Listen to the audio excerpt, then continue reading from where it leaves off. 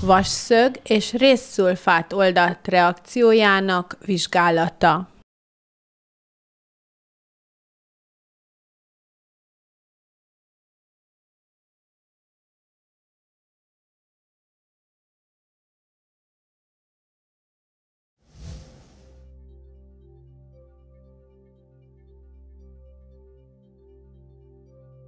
Egy kis főzőpohárba öntsön a rézszulfát oldatból.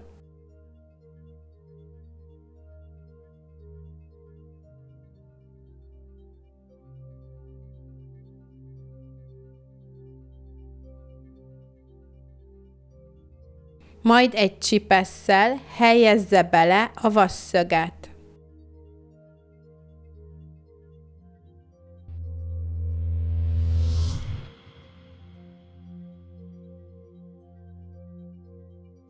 Majd néhány perc elteltével egy csipesszel emelje ki, és figyelje meg a változást.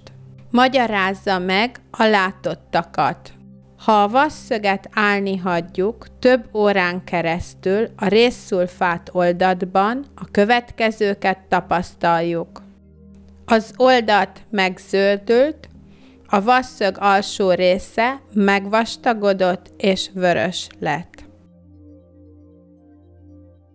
Adjon magyarázatot a látottakra.